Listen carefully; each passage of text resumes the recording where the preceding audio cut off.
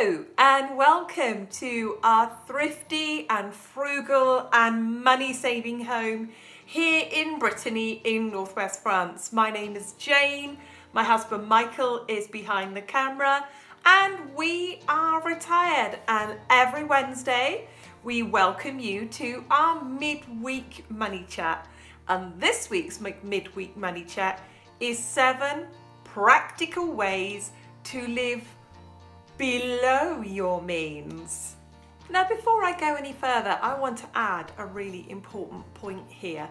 I am absolutely and acutely aware that some people's means are at breaking point. They've already got two jobs. They're already paying as much as one job's worth for childcare, for example. I'm really aware of that. I'm aware that rising prices, rising rents, and all of those things are swallowing incomes as fast as people can earn them. So I'm really aware of the fact that some people are in real dire straits. My midweek money chat is focusing on the people who do have some flexibility, who do have some options, who maybe want to save more or maybe pay off more debt and therefore have the means in which to live below.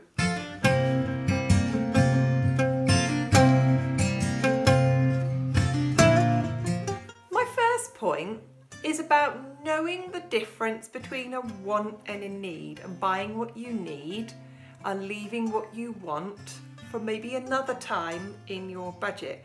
Now everybody says this, don't they? Know the difference between a want and a need. And it's glib and it's easy, but it's not easy for some people because we are people.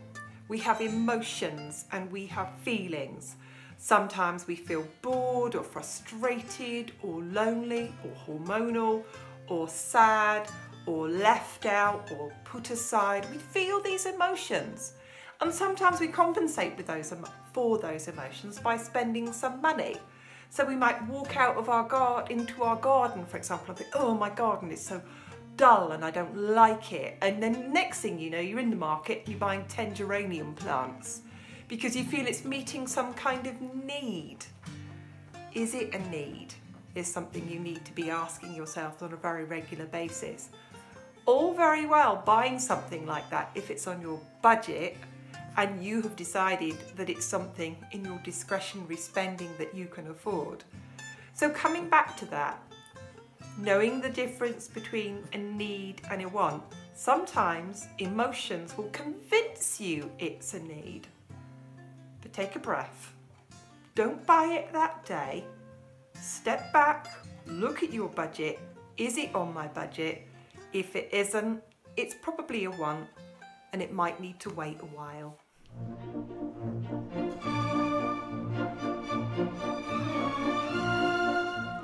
If you're watching this and you're British, you'll know about that advert that tells you to go compare. Well, that's all right if you're comparing insurance, if you're comparing prices, but what you must never do if you want to live beneath your means is don't compare yourself to other people. Don't compare your car, don't compare your house, don't compare your clothes, don't compare your makeup, don't compare your children's toys, don't compare your children's activities with anybody else's. Imagine this if you would. Imagine a world where there's no Facebook, no Pinterest, no social media, no Instagram. Can you imagine that world? Because I grew up in that world and I remember I could compare myself with the kids who lived down the street and they didn't have anything different than I had. So we weren't comparing, but the world is different now. And there is this culture of greed this culture of stuff, this culture of ownership. You can't have a house anymore, you've got to have a grand design. You can't just decorate your house when you get married and live in it for the rest of your life like our parents did. Oh no, you've got to give it a refresh. Don't compare. If you want to live beneath your means, don't compare. Do not go compare. Don't compare.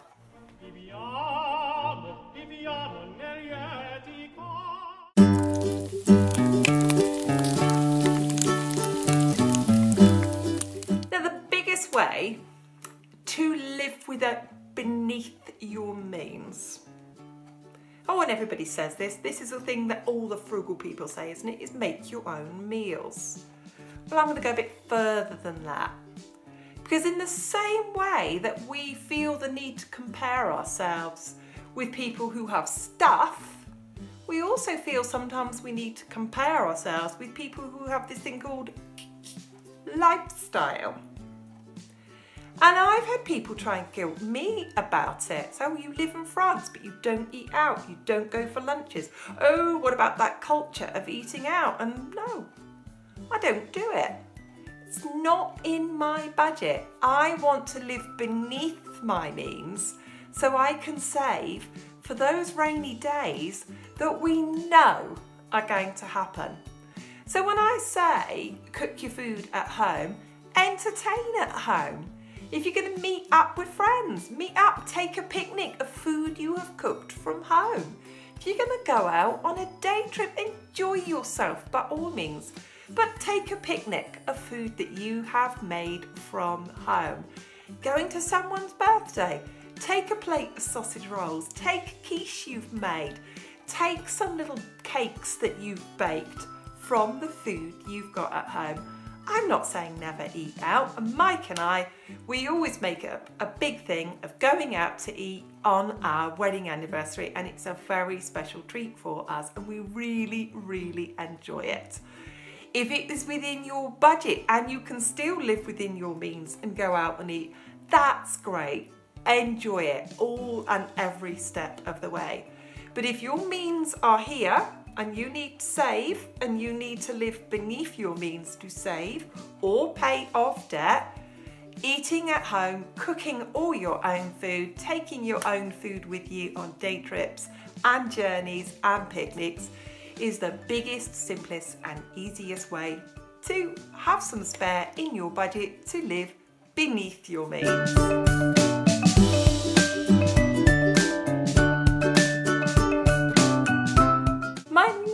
Piece of advice, and I take this very seriously myself, is I ignore the food snobs. It's all very well for some people to be telling you that you should be eating organic this or low fat that or no sugar this or no sugar that. You know what? There are people eating today and the only reason they are eating today is because they got food from a food pantry or a food bank. So if you are putting food on your table for your family, you're a lucky one. You are a lucky one. So I want you, in the same way as I don't want you to compare your house or your clothes or your food, I want you to stop worrying about what you're putting on your table. If you are opening a tin of tuna, putting that in a baked potato, cooking up some frozen vegetables, you are giving somebody a really healthy, balanced meal there. That's a good meal. If you're giving someone a chicken stew made from the chicken thighs and a few frozen vegetables and some mashed potatoes. You're giving someone a good meal there. It's humble food. So shop your pantry, use up your pasta, use up your rice, eat from tins, eat frozen, buy the cheaper cuts of meat. Please ignore the food snobs. They're not paying your grocery bills, they're not feeding your family. So you're doing the best you can. Step back, feel proud of that, and it will help you quite confidently to live beneath your means.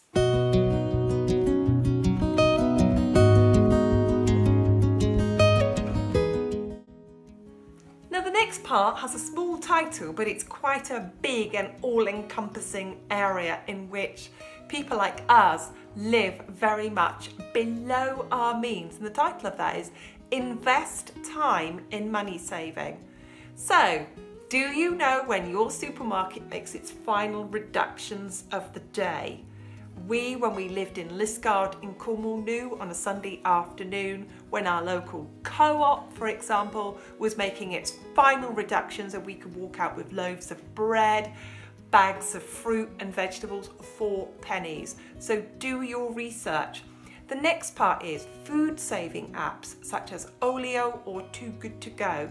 They are better in some areas than others. They can be a bit hit and miss here in France, but they are an excellent way of saving food waste and for you to save money. Know your local community really well. When are the plant sales on by the local fundraisers that you can buy for your garden? When are the seed swaps? When are the clothing swaps? They do book swaps, all of those things. Does your community have a, an, a disused phone box in which you can leave books or take books? These are also great things in the community where you can give the, things that you no longer need or want to other people. In your research, you're looking for the best deal for absolutely everything, whether it's home insurance, car insurance, it's uh, your energy deal or the supermarkets that you swap in. It's always worth your time to take time to find the best prices and that time will help you live well below your means.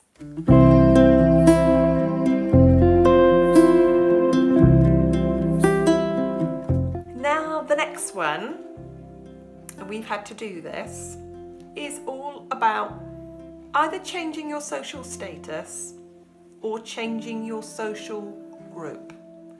I'm not talking about changing your friends. Your friends and people who mean something to you and you mean something to them will be by your side and be your friends and be the people who love you, whether you are saving money or spending money. But changing your social group might be the people who aren't supporting your viewpoints, who are using emotional blackmail, who do say things to you like, oh, I couldn't live the way you do, it's boring, who might be saying unkind or unpleasant things to you, just like that. Is it time to change your social group or your social status? Are you trying to keep up with a group who you genuinely don't want to impress? The old adage is, are you spending money to impress other people?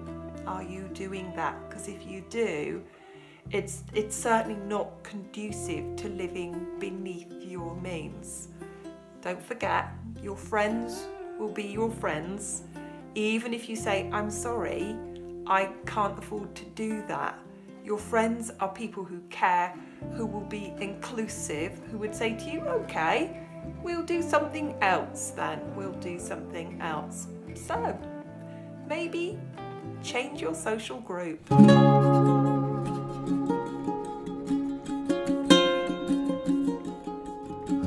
My final point as a practical piece of advice to live beneath your means is get support.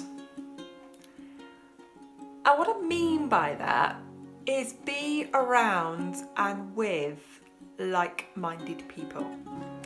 Sometimes that might mean virtually. Sometimes that might mean you use social media for its positive effects. That you might join groups about budgeting, you might join groups about budgeting for your food budget or paying down debts. Being part of that frugal community of people who are taking their hard earned money or pension or however and spending it wisely and being around those people, it's really quite difficult if you are around people who are criticising you because of the choices that you feel are right for your family. Mike and I, luckily, know people who share our viewpoints, and that is much, it's really easier for us and it, is, and it supports us. It supports our values and it supports our ideals and how we want to live.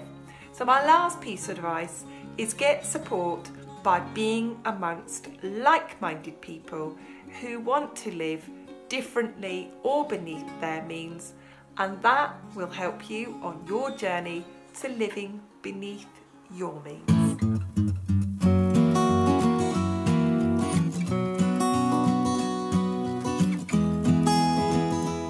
Well, I hope that that was helpful. I do like our midweek money chats and I know that you enjoy them too. Thank you so much for watching. If you enjoy our videos, give them a like. It really does help us. Thank you to everybody as well who lets the advertisements roll, not just for me, but all YouTube creators. It's how the YouTube creators earn some money from Google AdSense. So thank you so much for that support. If you like what we do here, make sure you hit the subscribe button and the little bell as well so you don't miss any of our new videos. Just leaves me to say thank you so much for watching and best of all, thank you so much to everybody who leaves a comment. We really, really do appreciate that. And I'll see you again very soon. Goodbye for now.